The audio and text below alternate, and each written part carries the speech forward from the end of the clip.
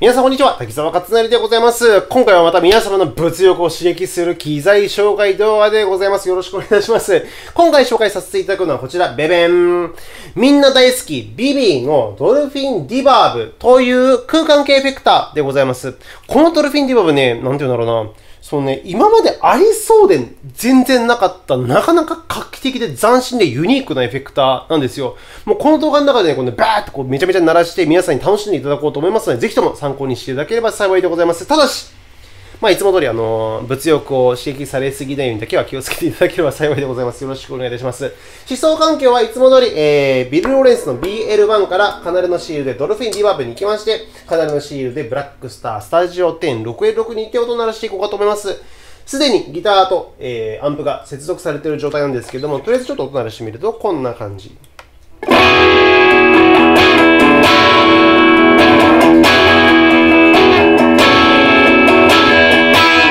こんな感じのエレキギターって感じの音でございます。早速オンにしてみましょう。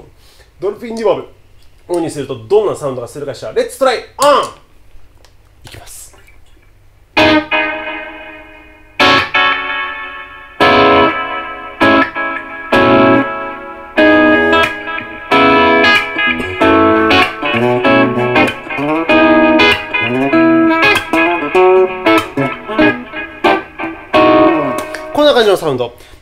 ピンときた人、えー少なからずいらっしゃると思うんですけども、ディバーブっていうその名前はそもそも何かっていうと、ディレイとリバーブのガッチャンコっていう造語なんですよ。ディバーブ。ディレイとリバーブのディバーブっていう造語なわけでございます。このね、僕のギターの音に対する山びこ山びこ効果。まずこのディレイがあるわけですよ。ちょっとディレイ鳴らしてみましょう。ディレイ。こんな感じ。僕はこのね、ジャンって弾くと、後ろから、ジャンジャンジャンジャンジャンジャンってこう追っかけてきてくれるじゃないですか。この山びこ効果がまずディレイ。で、このディレイ自体はよくあるんだけれども、ドルフィンディバーブのすっげえ面白いユニークなところが、僕がこのジャンと弾きました。で、その後ろに山びこ効果、ディレイがジャンジャンジャンジャンってきました。っていうこの山びこ効果のところに、さらにディレイとリバーブを突っ込むっていう。今まで全然そんなエフェクターなかったんだけど、ここがね、超画期的なの。ちょっとやってみましょうか。この、えー、今、山びこ効果でバーッと言ってます。このディバーブというつまみを向こうに持っていくと、僕のギターの音に対してまず山びこ効果が発生します。で、山びこ効果にさらにディレイとリバーブを加えまくった状態がこれ。ちょっと聞いてみてください。音がね、すっげえ広がるから。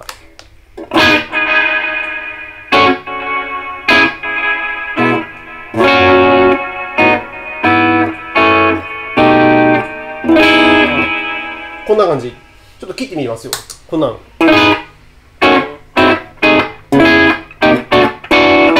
入れていきます。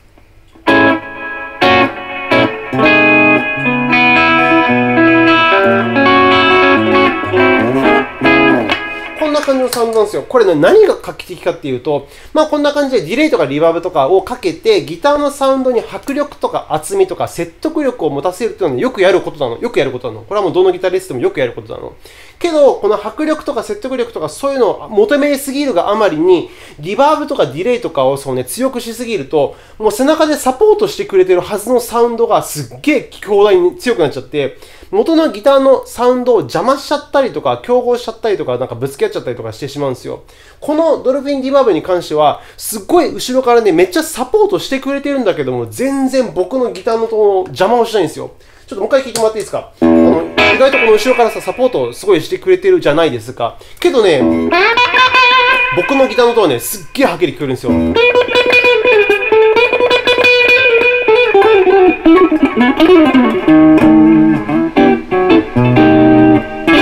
すごい聞こえません？すごいバックアップしてくれてるけど、僕のギター音すげえよく聞こえません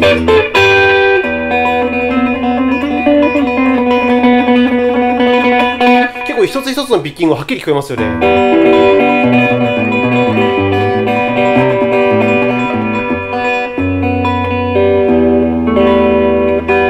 でもこれオフにしてみると、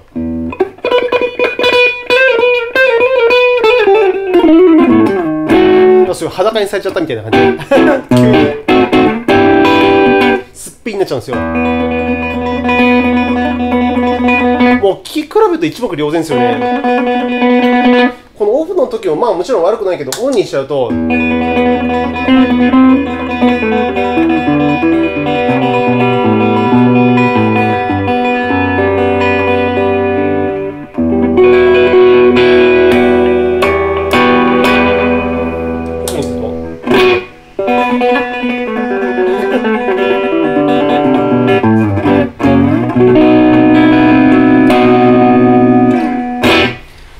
然この厚みというか説得力というかこの背景のこのねバックアップ感というか、まあ、単純にその気持ちよさみたいなのが全然違いますよね。これがねそのドルフィンリバーブすごいめちゃめちゃ面白いところでございますよ。もうちょっと弾きましょう。なんかねコードを弾いててもね全然邪魔にならないんだ。例えばこういうように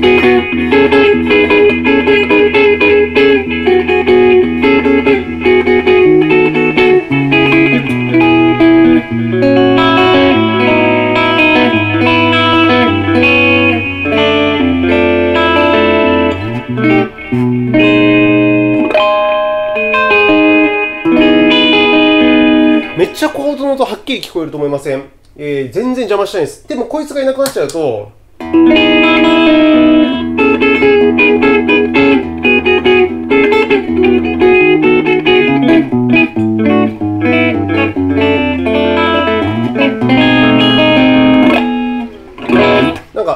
みたいな感じになりますよね。この後ろの小人さんたちがすごいもう僕のことめっちゃこうバックアップして持ち上げてこうすごい気持ちよくしてくれてるんですよ。これが癖になってしまう。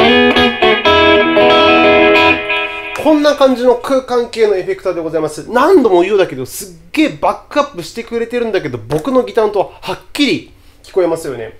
で、このミックス低つまみ、えー、これを上げると、このバックアップが強くなります。で、こっちに持っていくとバックアップは弱くなります。えー、バックアップを強くして弾いてみましょうか。これもこれでまたね、めちゃめちゃいいんですよ。なんか癖になっちゃいそうな。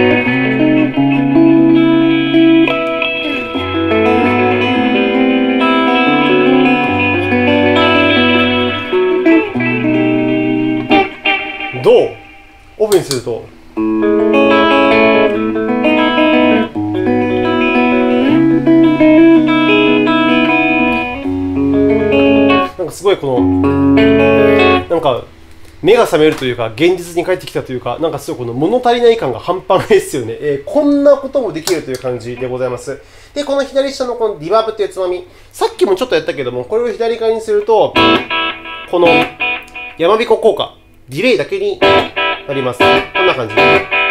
で、これをこのバーっと持っていくと、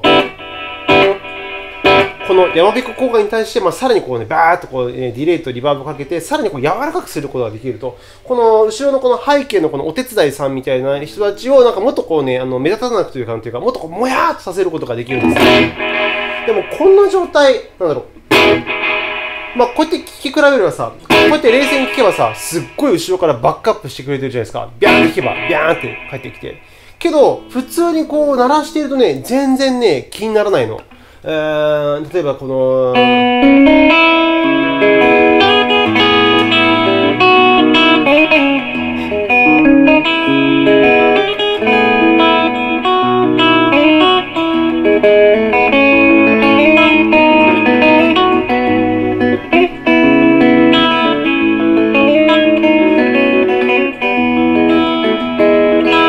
いメロじゃない？でもこれがオフだと、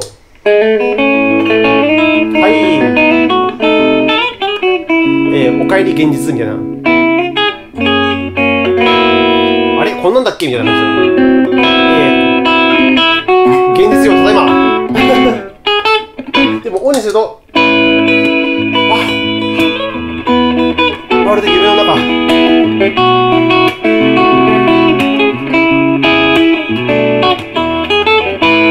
まるで僕がギターが上手くなったかのような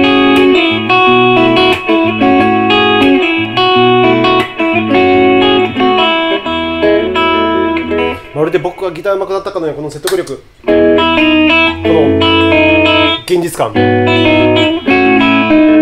ー、朝起きたみたいな感じの。でもこれ夢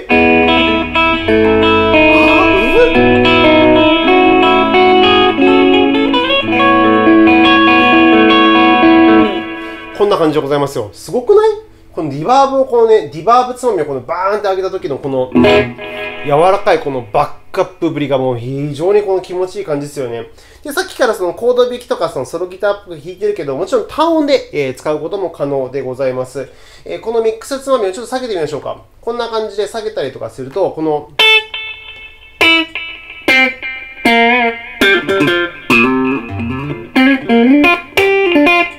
僕の単音に対してちょっと薄く、えー、返ってくるような感じになります。これで少し弾いてみますと、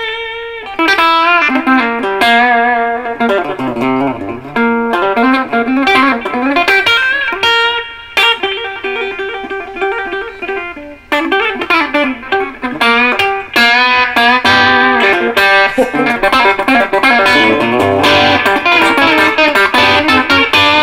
んな感じのサウンドです。聞いてみましょ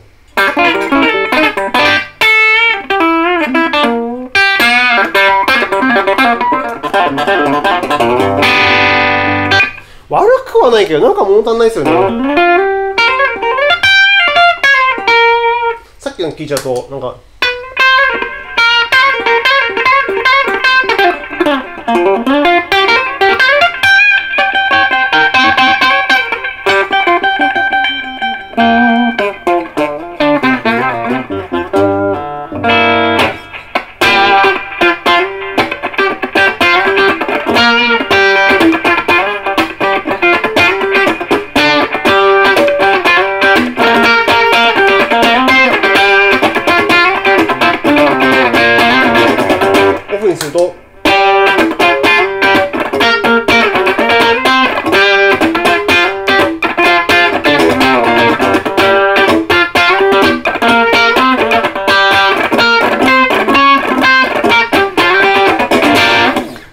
ないけど、ちょっと物足んねえぞと。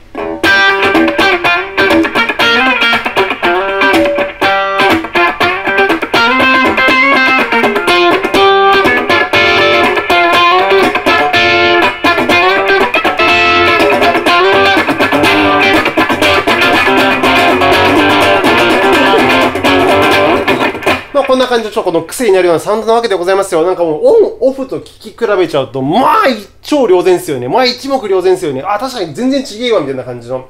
えー、こんな感じのエフェクターなんです。ミックスとディバーブは、えー、それぞれその役割。ちょっと右側にもね、このタイムとリピートとローカットっていうのがあるので、ちょっと軽く、えー、ご説明をさせていただきましょう。このね、タイムっていうのをね、向こうに持っていくとね、これね、山彦がね、遅くなります。こんな感じで。で、こっちに持ってくると、山彦は速くなるの。なんで、早く返してほしいときは、えー、こっちが左側に。ゆっくり返してほしいときは右側に。という感じです。で、このリピートは、えー、その名前の通り繰り返しです。これを右に持っていくと、まあ、ほぼ、あの、半永久的に、えー、返し続けます。左側にすると、ちょっと返したら終わります。で、真ん中に設定して、このローカットっていうのはちょっとね、分かりづらいんだけども、ちょっとね、低音の音を聞いてください、低音。ローカットはブーンと上げると、まあ、簡単に言うと音がスカスカになります。で、こっちに持っていくと音がゴン太になります。この山彦ですよ、山彦。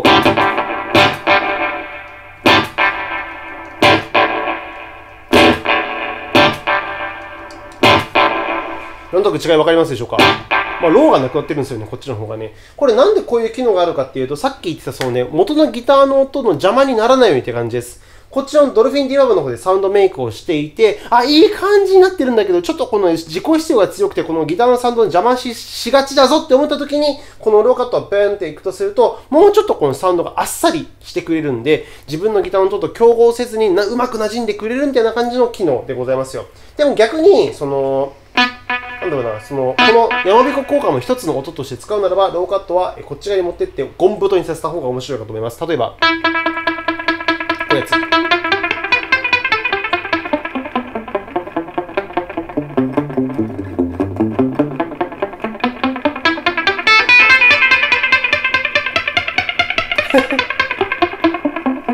まあこんな使い方よくあるじゃないですか。えー、ちょっとやってみましょうか。タイムもそのままで、えー、リピートをちょっと上げましょう。こんなんとか。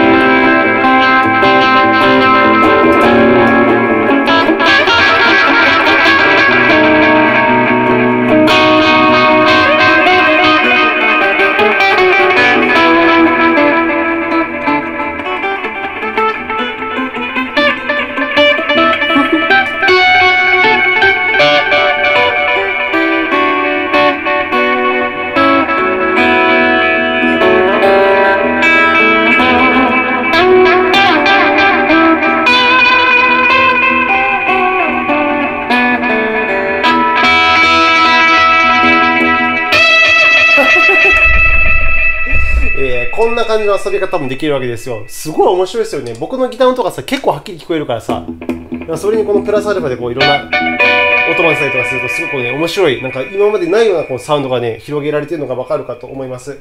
で、もちろんこの Dolphin Deverb、えっ、ー、と、アナログディレイみたいなもんなんで、えー、そういうこの特殊効果音みたいなアナログディレイ的な使い方もできます。ちょっとやってみましょうか。えー、まあタイムはなんでもいいんだけど、リピートをこれマックスにして、とりあえずこれ一回バーンと弾きますよ。バーンと弾きます。これを、えー、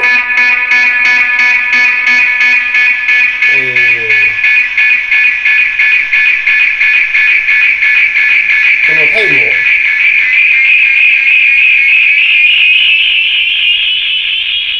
こっちで持ってて音を高くしたりとか逆にそうしたりと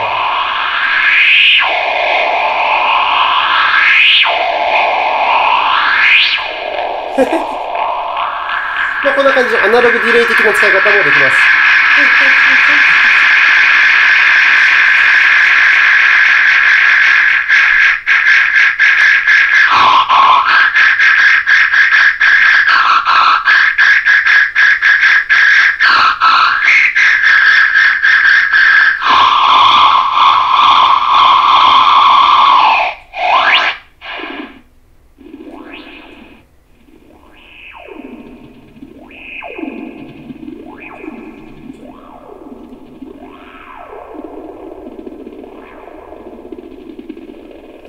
獣みたいな感じになってますね。怪獣が多くて喋ってるみたいな。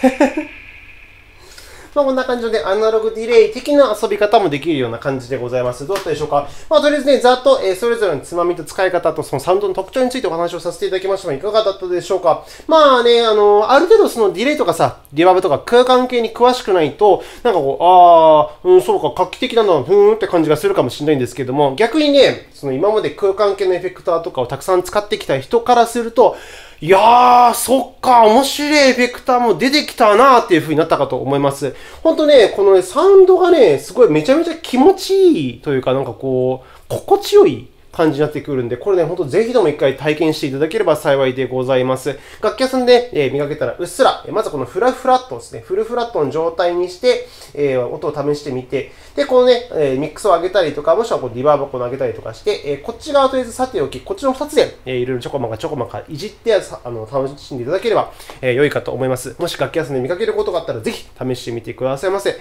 そんな感じで、えー、今回もすっげえ長い動画になりましたけども、えー、今回はビビの、えー、ドルフィンリバーブというリバーブの、えー、空間系エフェクターか、空間系エフェクターのご紹介でございました。えー、楽しんでいただけましたでしょうか？もし何か気になることがあればね、ぜひバシバシとコメントとかチャットとかをしていただければ幸いでございます。それでは今回も最後までご視聴ありがとうございました。さよならグッバイの前に、えー、私、滝沢勝成、えー、YouTube メンバーシップなるサービスをちょっくらやっております。Java 会なんていう名前なんですけれども、コメントにその質問書いていただいて、僕が返せる時もあるんだけども、返せても1行2行になってしまったりとか、なんかあんまりこうね、たくさん返せなかったりとかするんですよ。でもね、その Java 会の方ならばね、もうそれ僕もバーッと返したりできるので、もしその機材の質問とか聞きたいこととか、えー、何か教えてほしいとかこととかありましたら、ぜひメンバーになるボタンから Java 会の登録していただければ幸いいでございます。それでは本当に今回は終わりにいたしましょう。長い間最後までありがとうございました。それではさよならグッバイ。